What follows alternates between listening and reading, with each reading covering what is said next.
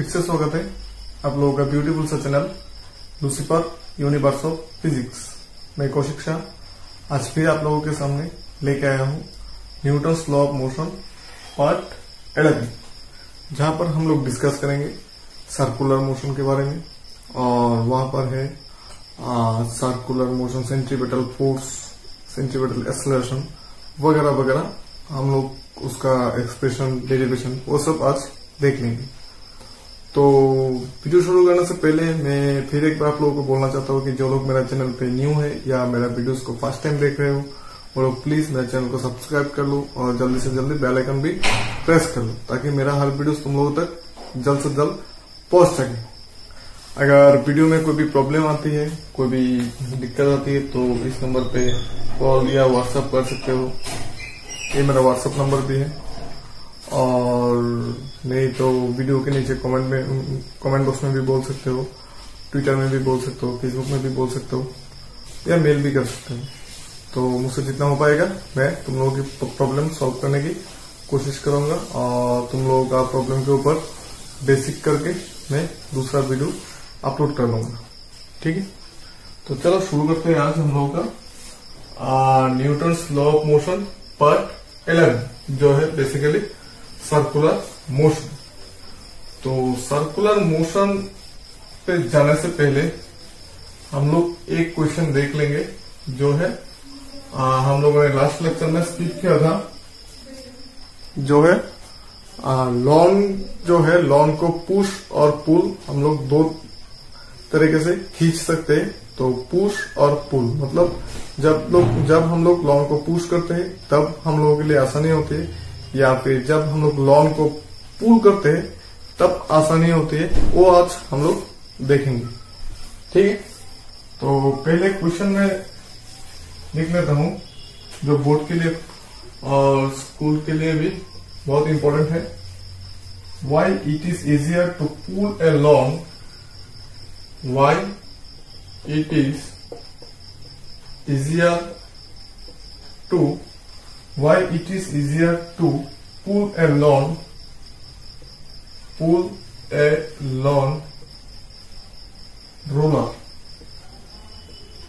pull a lawn roller then to push it then to push it explain ठीक है क्यों हम लोगों को हम लोग जब लॉन रोलर को पुश करते हैं। तो हम लोगों को दिक्कत होती है, लेकिन जब हम लोग उसको पुल करते हैं, तब आसानी होती है या हम लोग को फोर्स कम लगता है। क्यों? वो हम लोग को एक्सप्लेन करना है। चलो, देखते हैं कैसे एक्सप्लेन करेंगे हम लोग। तो यहाँ पर मैं पहले लॉन का डायग्राम ड्रॉ कर लेता हूँ। मान लो एक लॉन है, बड़ा सा जो है, उसका चक्का है, फिर आ जाओ। इसका दो फिगर होगा। एक पे दिखाएँगे हम लोग पुश दूसरे पे दिखाएँगे हम लोग पुल ठीक है? तो पहले वाला में हम लोग दिखा देते हैं। पुल दूसरे वाला में हम लोग दिखा देंगे पुश ठीक है? सॉरी ये यहाँ से जाएगा। ठीक है? तो मान लो ये तो जाएगा हम लोगों का सेंटर से सेंटर से। तो एक हम लोग ऐसे दे सकते हैं, दूसरा हम लोग ऐसे खींच सकते हैं। ठीक है? तो खींचने से क्या होगा? अगर हम लोग हॉरिजॉन्टल के साथ थीटा एंगल से खींचते हो, और इसका भी हम लोग हॉरिजॉन्टल के साथ मान लो थीटा एंगल करके पुश करते हो, तब क्या होगा? अगर हम लोग उसको पुल करते हैं एफ़ फोर्स से तो ऊपर की तरफ़ आ जाएगा हम लोग का एफ़ साइन थीटा और इस तरफ़ आ जाएगा एफ़ कॉस थीटा तो ये इस तरफ़ जाने से हम लोगों का जो फिक्शनल फोर्स है, वो काम करेगा इस तरफ़। ठीक है? जो फिक्शनल फोर्स है, वो काम करेगा इस तरफ़ और उसका जो वेट है, वो डायरेक्टली काम करेगा downward W equal to M G और उसका जो नॉर्मल रिएक्शन है आर वो काम करेगा ऊपर की तरफ़। ठीक है? तो सेम इसका भी जो मास है W equal to M G काम करेगा नीचे की तरफ़ और उसका नॉर्मल रिएक्शन आर काम करेगा ऊपर की तरफ़। और अगर हम लोग अभी इसको पुश करते हैं मतलब ऐसे धक्का देते हैं तब इसका जो आ, क्या है हम लोगों का आ, उसका जो कंपोनेंट है जो आ, हम लोगों का क्या होगा? ए थीटा नाम से ए थीटा होगा। इसका जो मान लो हम लोग एफ़ फोर्स से इसको पुल करते हैं तो एफ़ कॉस थीटा आ जाएगा इस डायरेक्शन पे और एफ़ साइन थीटा आ जाएगा इस डायरेक्शन पे। मतलब एफ़ साइन थीटा जो है वो इसका वेट को इंक्रीज कर देगा। ठीक है? एफ़ साइन थीटा जो है वो इसको वेट को इंक्रीज कर देगा। ठीक है? तो ये भी इस एक फिगर में भी, ये जो लॉन रूलर है, इस तरफ़ जाएगा, ये भी इस तरफ़ जाएगा तो फिक्शनल फोर्स जो है, वो ऑपोजिट पे ही काम करेगा। तो ये हो गया हम लोगों का दो फिगर एक पुश का और एक पुल का, ठीक है? तो पुल का कौन सा है? ऊपर वाला है और पुश का कौन सा है? नीचे वाला है, ठीक है? ये हो गया पुशिंग ए रूलर और ए हो गया पुल ए रोलर ठीक है? नीचे वाला हो गया पुशिंग ए रोलर और ऊपर वाला हो गया पुलिंग और पुलर और सॉरी पुलिंग ए रोलर ठीक है? तो चलो अभी इसका कुछ इक्वेशन थ्योरी वगैरह लिख लेते हैं। As shown in the figure suppose a force as shown as shown in figure as shown in figure Suppose a force F, suppose a force F, as shown in figure, suppose a force F is applied to, F is applied to, applied to pull a long roller of weight W, pull a long roller of weight, W. ठीक है? The force F has two rectangular component the force F has two rectangular component ठीक है? ये जो force है, इसका दो rectangular component है. एक है एफ़ साइन थीटा दूसरा है एफ़ कॉस थीटा ठीक है? तो एफ़ साइन थीटा जो है, वो उसका वेट को न्यूट्रल करेगा और या इसका वेट को बैलेंस करेगा और एफ़ कॉस थीटा जो है, उसके वजह से वो आगे की तरफ़ जाएगा। तो one number horizontal component F cos theta helps to move the ruler forward horizontal horizontal component horizontal component f cos theta horizontal component f cos theta helps to move helps to move the roller forward the roller forward ठीक है और दो number vertical component F sin theta, vertical component, जो ऊपर वाला है vertical component F sine theta act in the upper direction act in the upper direction vertical component F sine theta act upper in the direction ठीक है? If R is the normal reaction then if R is the normal reaction अगर R होते हैं normal reaction तो हम लोग इस equation से क्या लिख सकते हैं? R plus F sine theta equal to W और R equal to W minus F sine theta ठीक है? और हम लोगों को पता है कि force of kinetic friction force of kinetic friction force of kinetic friction क्या होता है? एफ़ के ठीक है? तो F K equal to mu K R that means mu K W minus F sine theta ये होता है हम लोगों का इक्वेशन जब हम लोग पूल करते हैं ठीक है? कॉपी कर लो।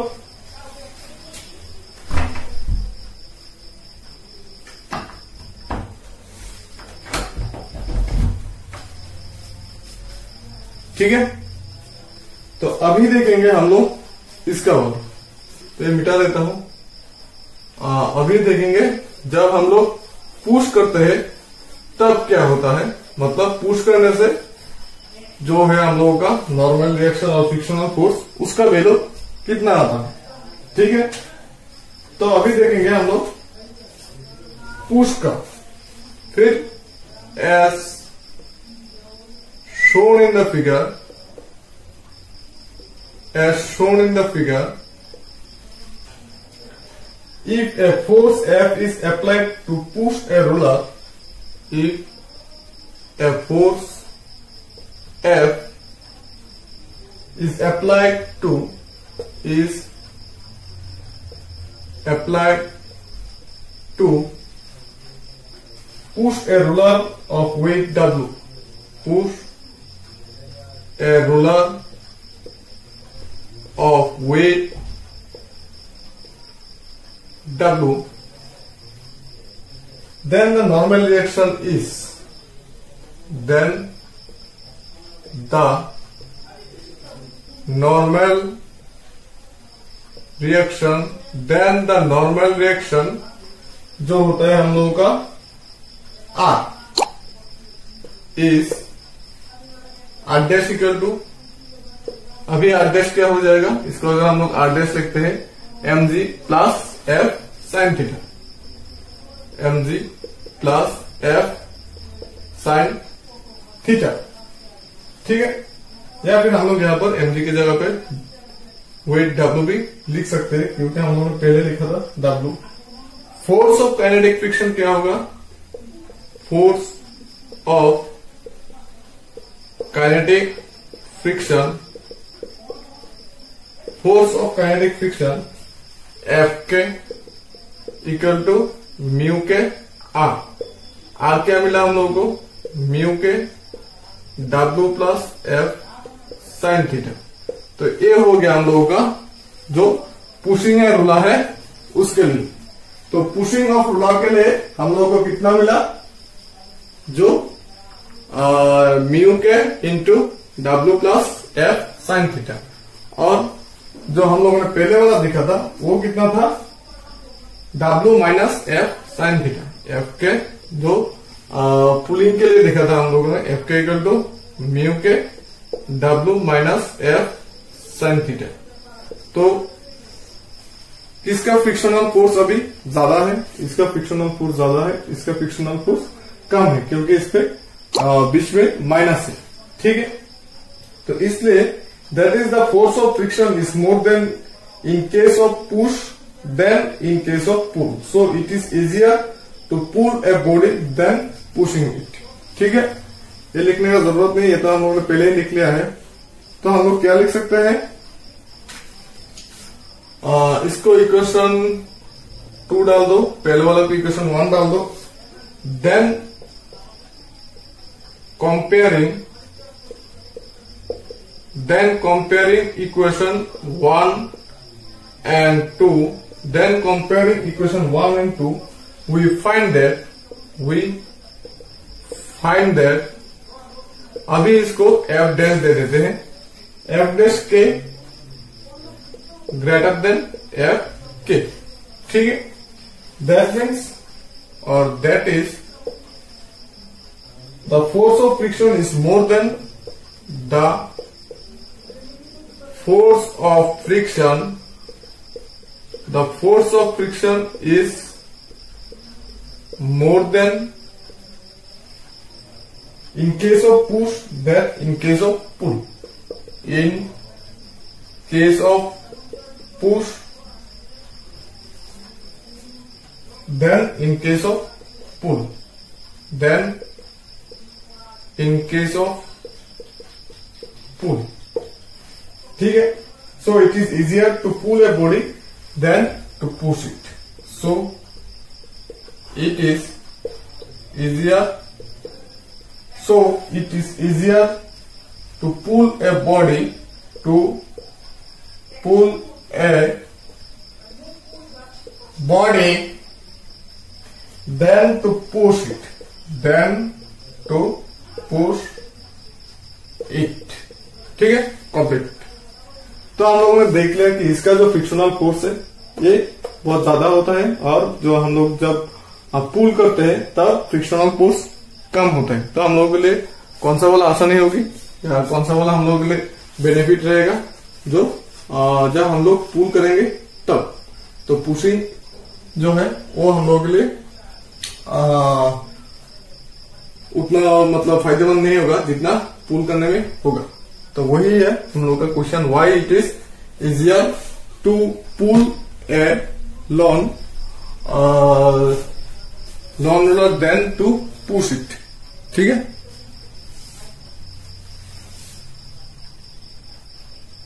तो अभी हम लोग देखेंगे जो सेंट्रीबटल फोर्स है, वो क्या होता है और सेंट्रीबटल एक्सलेशन क्या होता है और एंगुलर वेलोसिटी क्या होता है वो सब अभी हम लोग देखेंगे। ये सब भी बहुत इंपॉर्टेंट है हम, हम लोगों के लिए। मीन्स तो क्वेश्चन लिख लेते हैं। What is centripetal force what is centripetal force. Write an expression for it. Write an expression for it. Centripetal force का एक्सप्रेशन लिखना है हमको give some example of centripetal force give some example give some example of centripetal force. Give some example of centripetal force. to centripetal force का definition देना है, फिर expression निकलना है, फिर कुछ एग्जांपल देना है। तो पहले डेफिनेशन देख लेते हैं। A force required to make a body a force required a force required to make a body move along a to move a body a force required to move a body sorry to make a body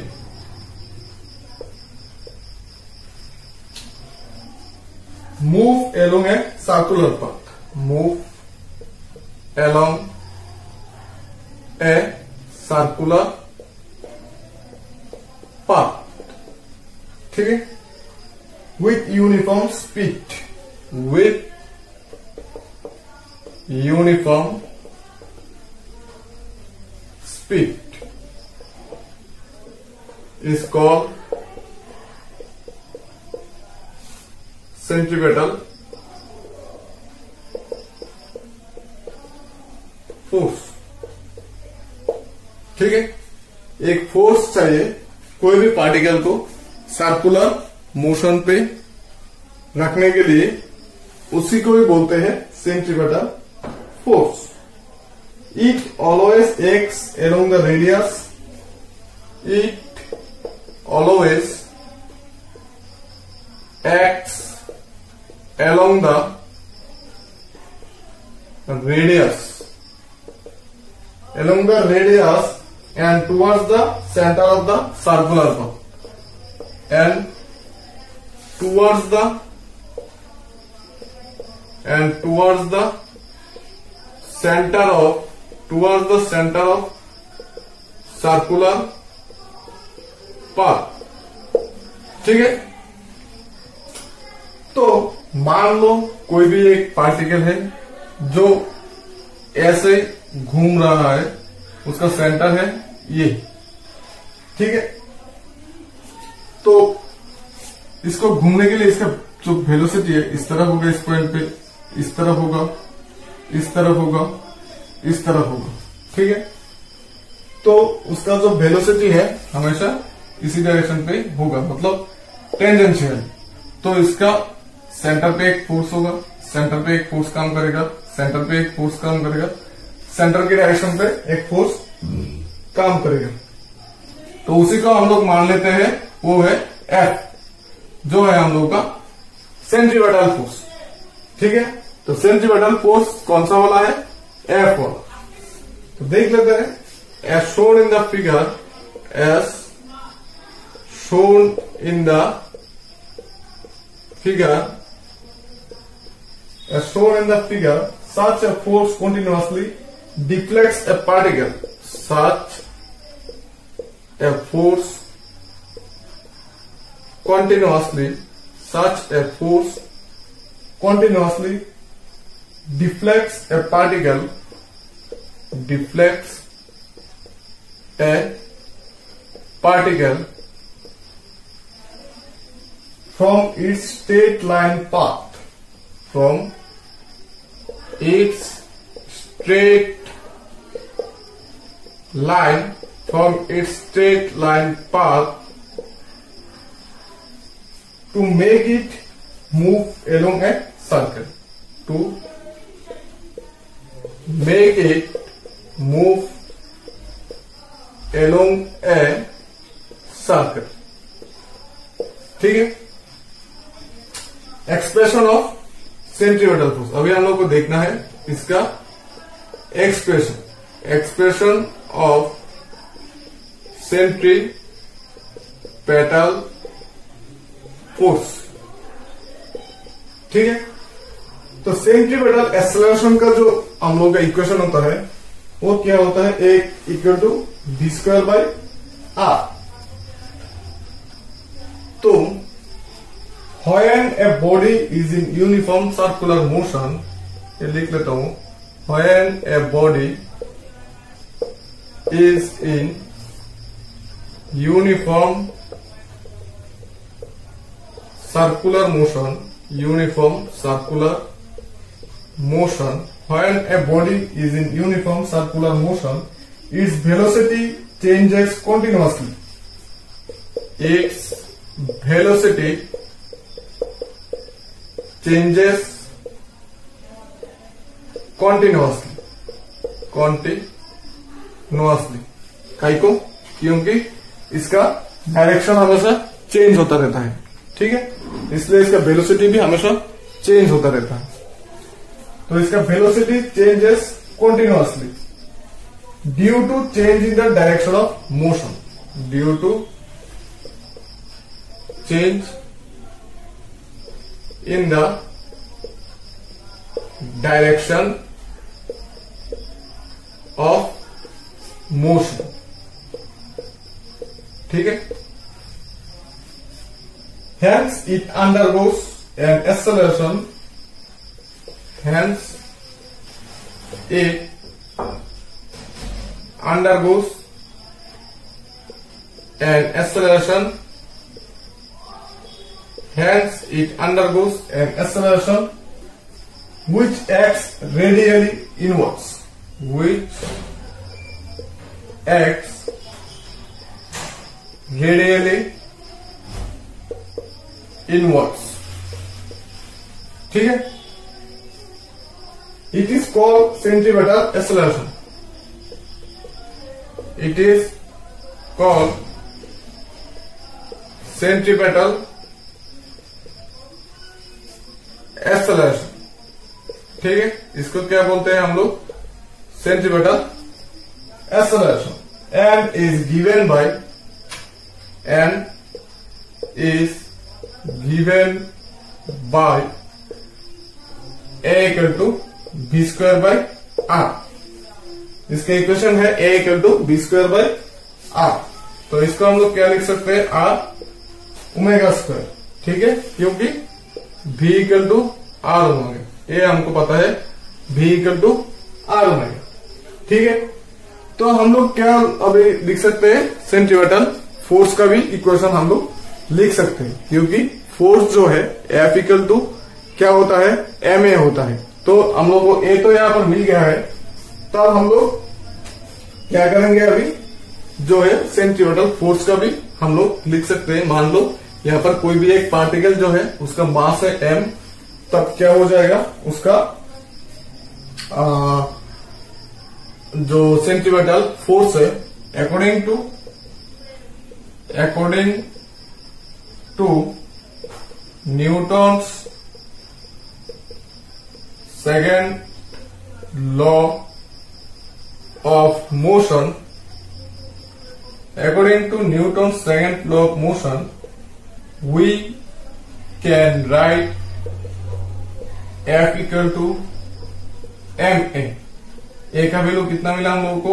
M v square by R equal to M R omega square यही होता है हम लोगों का centripetal force यही होता है हम लोगों का सेंटीमीटर फोर्स मतलब ये हो गया हम लोग का एक्सप्रेशन फॉर सेंट्रीवेटल फोर्स ठीक है? व्हाट इज़ सेंट्रीवेटल फोर्स ये भी हम लोगों ने बता दिया। अभी write an expression for it expression भी दिखा दिया। अभी सिर्फ़ कितना बाकी है? Give some example of centripetal force अभी सिर्फ़ एग्ज़ाम्पल देना बाकी है। चलो एग्ज़ाम्पल भी हम लोग दे देते हैं। बहुत सारा एग्ज़ाम्पल है ऐसा। क्या क्या एग्ज़ाम्पल है? वो भी लिखा देता हूँ।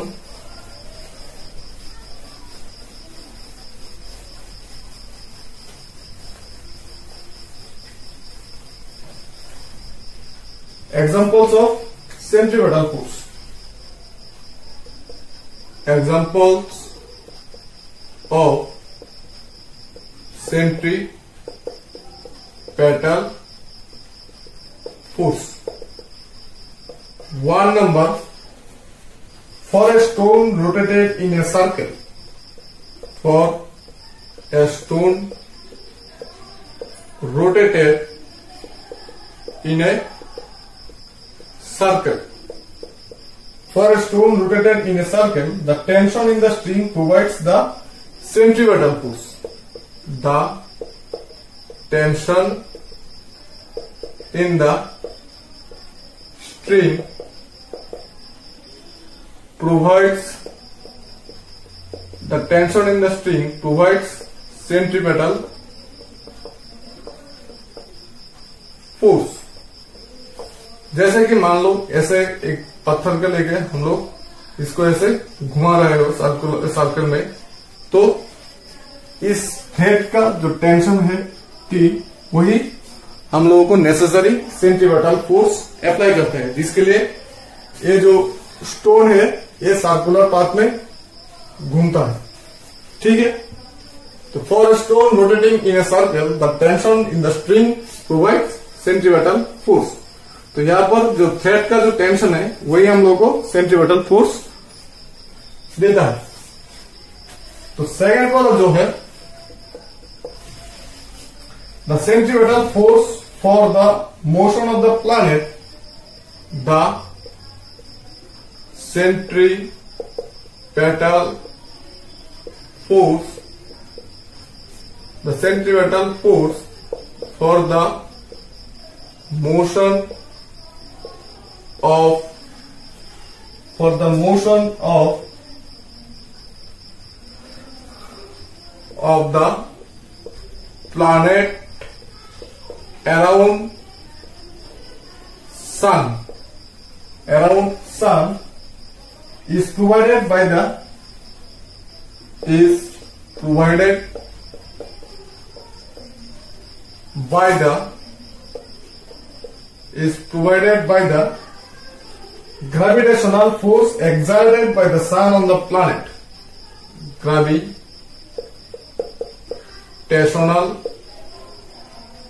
force exerted by the sun on the planet ठीक है हम लोगों का जो सन और प्लानेट का जो सर्कुलर मोशन है, ये तो हम सबको पता है, जो प्लानेट है अर्थ मान लो, कोई भी प्लानेट मान लो, ये सर्कुलर पाथ में सन को घूम रहा है सन के चारों तरफ़। तो घूमने के लिए जो सेंट्रीपेटल फोर्स चाहिए, वो सेंट्रीपेटल फोर्स कौन अप्लाई कर रहा है? सन और मास का बीच का ग्रेविटेशनल फोर्स ये हो गया हम लोग का दूसरा एग्जांपल अभी देखते हैं थर्ड वाला। For a car taking a circular turn for a car taking a circular turn on a horizontal route on a horizontal route the centripetal force is provided by the the centripetal force is provided by the the centripetal force is provided by the sun on the planet. By the sun on the planet. ठीक है?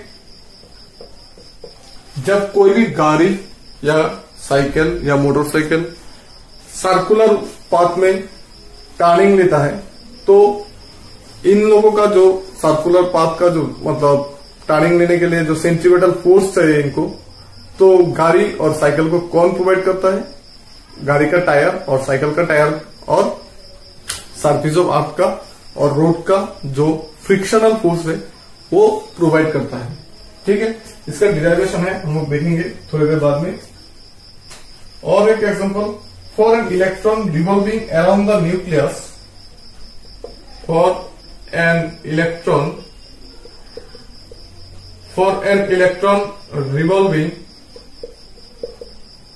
for an electron revolving around the nucleus, around the nucleus around the nucleus the centripetal force is provided by the the centripetal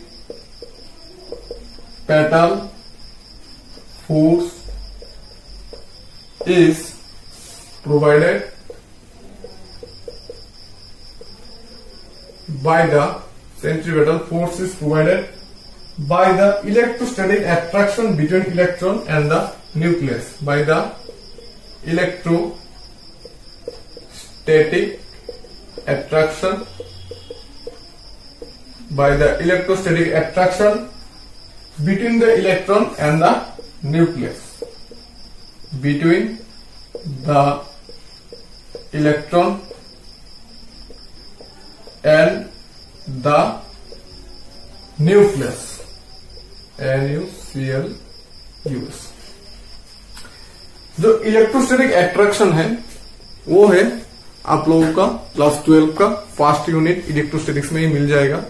जैसे कि Q1, Q2 दो charge है। दो charge कोई भी separation में मान लो दोनों का बीच का डिस्टेंस है आर तो इन दोनों का बीच में फोर्स काम करता है। वो एट्रैक्शन भी हो सकता है रिपल्शन भी हो सकता है।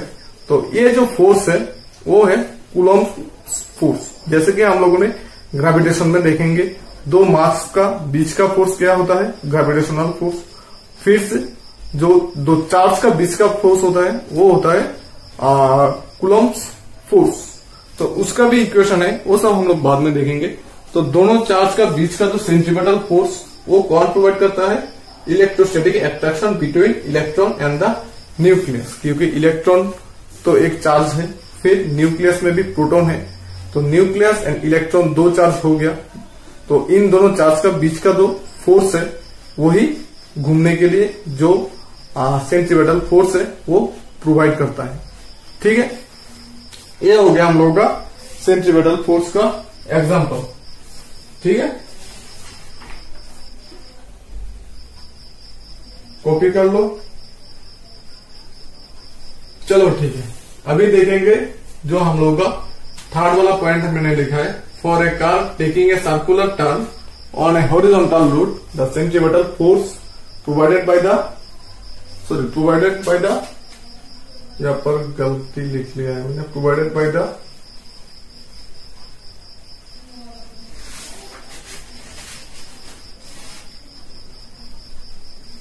force friction between the tires and the road provided by the force friction between the between the tires and road ठीक है ये अभी हम देखेंगे कैसा होता है ठीक है चलो ठीक है जब कोई भी कार प्लेन पे सर्कुलर टर्निंग लेता है, तब उसका मैक्सिमम स्पीड कितना हो सकता है? उसका सेंटीमीटर फोर्स कहाँ से मिलता है? वो सब अभी हम लोग डिराइव करेंगे। ठीक है? बहुत इजी वाला डिराइवेशन है। Question briefly explain how a vehicle able to go briefly explain briefly explain how is a vehicle how is a vehicle able to go round a able to go round a car track, round a level car track. ठीक है determine the maximum speed determine the maximum speed with which the vehicle can with which the vehicle can negotiate this car track safely negotiate this car track safely. ठीक है? Explain करना है हम लोगों को। How is a vehicle able to go round a level का track determine the maximum speed फिर उस ट्रैक पे हम लोगों को मैक्सिमम स्पीड भी डिराइव करना है और डिटरमाइन करना है। ठीक है? तो चलो देखते हैं। Yes this is level road then हम लोग एक लेवल रोड यहाँ पर ड्रॉ कर लेते हैं। ये हो गया हम लोग का लेवल रोड ये हो गया गाड़ी का दो टायर। तो गाड़ी कैसा होगा? गाड़ी होगा कुछ ऐसा। ये हो गया हम लोग का गाड़ी। ठीक है? ये हो गया हम लोग का गाड़ी। तो गाड़ी का ऐसा करके सॉरी ऐसा करके हम लोग का हो जाएगा गाड़ी। ये तो थ्री डी फिगर है। तो छोड़ दो, ये हो गया हम लोग का गाड़ी। तो इसका जो, ये हो गया गाड़ी का मिरर ये हो गया भाई ड्राइवर ठीक है? तो इसका जो दो टायर में से गाड़ी का वेट सीधा नीचे की तरफ़ जाएगा। एम जी डब्ल्यू गाड़ी का कांटेक्ट कितना है? चार टायर होता है। तो हम लोगों ने पहले वाला में तो दो टायर दिखाया है। तो इसका नॉर्मल रिएक्शन होगा ऊपर की तरफ़ आर वन इसका नॉर्मल रिएक्शन होगा ऊपर की तरफ़ आर टू ठीक है? ये दो नॉर्मल रिएक्शन जो है, ये एमजी को कवर देगा। तो ट्रैक का रेडियस हो गया हम लोगों के लिए आठ देखो इतना तक समझ में आता है कि नहीं? तो गाड़ी ऐसे करके ट्रैक लेने से, ऐसा करके ट्रैक लेने से फ्रिक्शनल फोर्स जो है, वो काम करेगा इस डायरेक्शन पे। क्यों? क्योंकि जब गाड़ी ऐसे करके घूमने की कोशिश करेगा तो गाड़ी ऑपोजिट पे एक फोर्स काम करेगा इसका। ठीक है? ऐसा करके ट्रेक करने से उस डायरेक्शन पे गाड़ी एक फोर्स फील करेगा। तो इसलिए इस डायरेक्शन पे फ्रिक्शनल फोर्स काम करेगा। ठीक है? तो गाड़ी का दोनों टायर में से इस डायरेक्शन पे फ्रिक्शनल फोर्स एफ़ के काम करेगा।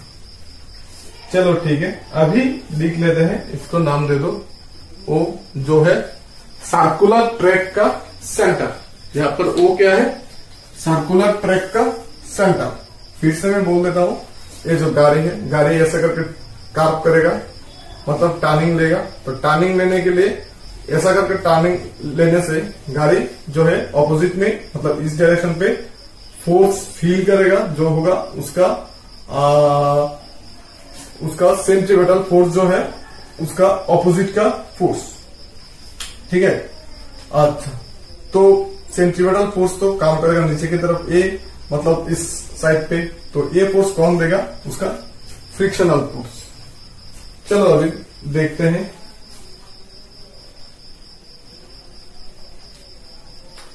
यहाँ पर जो हम लोगों का R one and R two है नॉर्मल रिएक्शन तो यहाँ पर हम लोग दोनों कार के लिए frictional force F one and F2 ले लेते हैं। ठीक है? तो एफ़ वन क्या होगा? F one equal to mu R one and F two equal to mu R two दोनों प्लस करने से F one plus F two equal to mu R1 plus mu R two तो mu common ले लेने से R one plus R two ठीक है? तो R one plus R two दोनों का नॉर्मल रिएक्शन मिलके क्या होगा? हम लोगों का वेट एम जी मतलब म्यू एम जी ये हो गया हम लोगों का दोनों का मिला के जो है फ्रिक्शनल फोर्स प्लस करने से हम लोगों का आ गया म्यू एम जी अभी क्या है हम लोगों को? जो फ्रिक्शनल फोर्स है, वो क्या करेगा? इसको नेसेसरी सेंट्रीवेटल फोर्स सप्लाई करेगा। तो हम लोग का सेंट्रीवेटल फोर्स का इक्वेशन क्या है? F equal to M V square by R ये हम लोगों का सेंट्रीवेटल फोर्स ये फोर्स किसके समान होगा? F one plus F two का। तो F one plus F two अगर इसके समान होता है तो F one plus F two किसका समान होना चाहिए? इसका समान। तो क्या हो जाएगा? हम लोग क्या लिख सकते हैं? म्यू एम जी जो है, वो greater than equal to M B square by R होना चाहिए। मतलब फ्रिक्शनल फोर्स जो है, वो सेंटीमीटर फोर्स से ज़्यादा होना चाहिए। काम होने से मतलब छोटा होने से क्या होगा? जो गाड़ी जो है, वो पीछे की तरफ़ चला जाएगा। मतलब एक्सीडेंट हो जाएगा। तो इसके लिए फ्रिक्शनल फोर्स जो है, वो सेंटीमीटर फोर्स से ज़्यादा होना चाहिए। तो यहाँ से हम लोग जो है मैक्सिमम वेलोसिटी का रिलेशन बना सकते हैं जैसे कि B square equal to mu R G मतलब बी स्क्वायर यहाँ पर आ जाएगा ऐसा आ जाएगा तो B root over mu R G यही होता है हम लोगों का मैक्सिमम स्पीड का रिलेशन ठीक है? तो इसका मैं एक साथ लिखा देता हूँ थ्योरी को लेके। ये तो सिर्फ़ कैलकुलेशन है। आ, चलो लिख लेते हैं when a car with mg when a car with mg going around a circular level loop going around a going around a circular level route ठीक है of radius r with constant speed v of radius r with constant speed v ठीक है wheel taking the turn wheel taking the turn, wheeler taking the turn, the tires of the car tend to leave. The tires of the car tend to leave tend to leave the road and go away tend to leave the road and go away ठीक है ये चाहता है कि ये उस तरफ़ चला जाए go away from the center of the car from the center of the कर ठीक है? चलो ठीक है। The forces of friction the force of friction F one and F two act inward in the inner act inward in the inner and the outer tires respectively and the outer tires respectively ठीक है if R1 and R2 are the reactions if R1 and R2 are the reactions किसका reactions है reactions are the reactions of the ground at the inner and outer tires reactions of the ground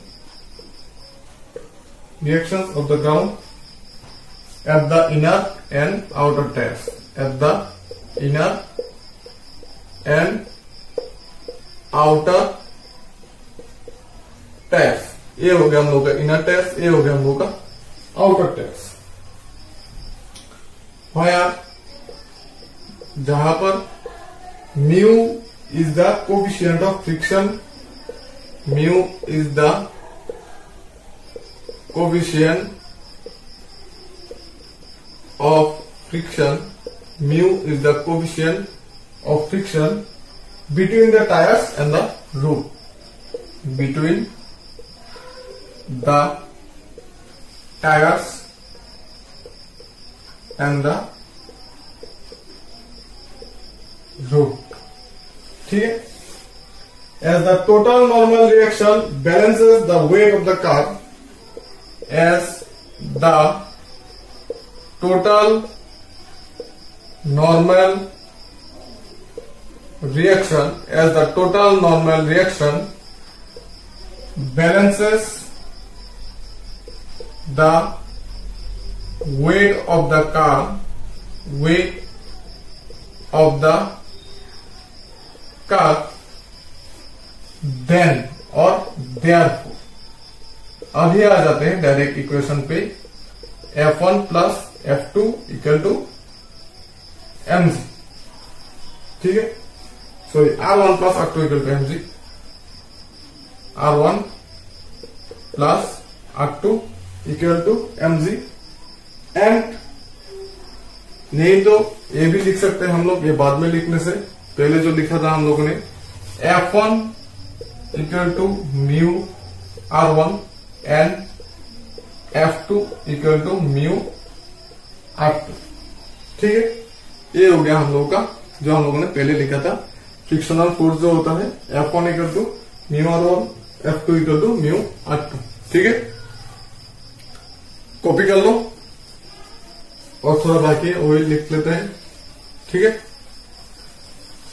pause करके copy कर लेना।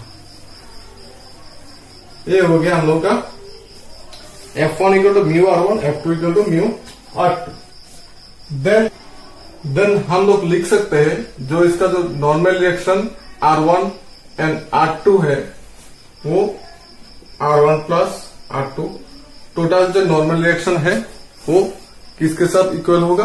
वो होगा हम लोगों का वेट के साथ मतलब एम जी के साथ। तो R one plus R two equal to M G ठीक है?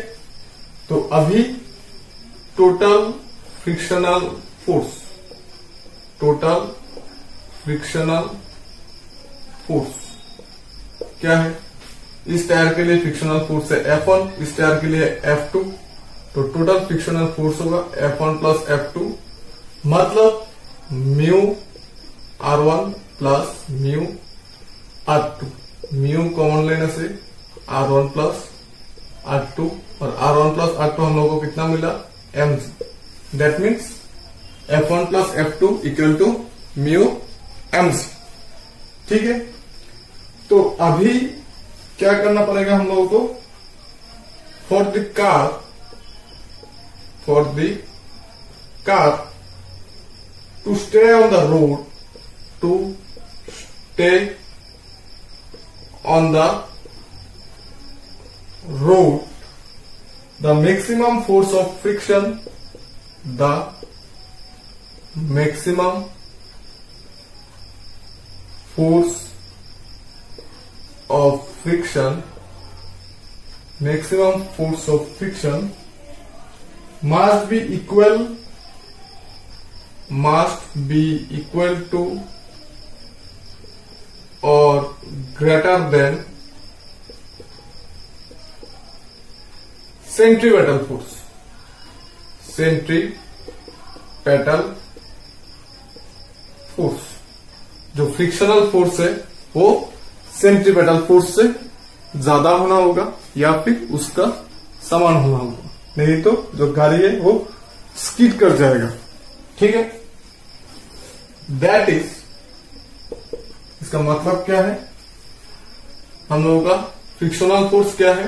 म्यू एम जी मतलब mu M G greater than equal to centripetal force क्या है? M B square by R both side M cancel mu G greater than B square by R यहाँ से हम लोगों को मिलता है D square less than equal to R G mu और mu R G that means V max equal to mu R G that means if the speed exceeds Vmax if the speed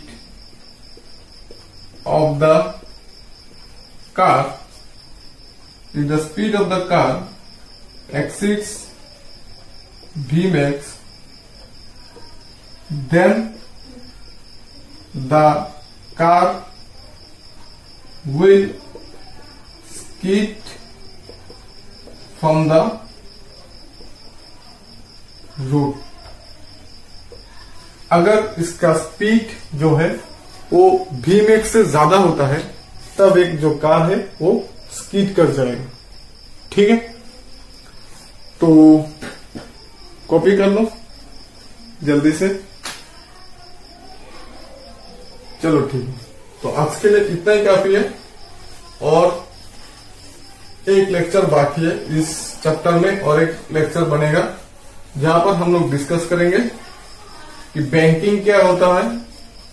banking angle क्या होता है? फिर हम लोगों का cycle का जो स्पीड है, उसका मैक्सिमम स्पीड वो सब देखेंगे। और कार होने से बैंकिंग एंगल के साथ जो मैक्सिमम स्पीड है, उसका रिलेशन फिर वर्टिकल मोशन में जो वर्टिकल सर्कुलर मोशन बोल के एक चीज़ है, वो भी देखेंगे। वो सब कंप्लीट हो जाएगा नेक्स्ट वीडियो में। मतलब थ्योरी का और एक वीडियो अपलोड होना बाकी है। और फिर हम लोग चले जाएँगे न्यू मेरिकल पे। ठीक है? तो आज के लिए इतना ही काफ़ी है। मिलते हैं नेक्स्ट वीडियो में। तब तक के लिए, टाटा।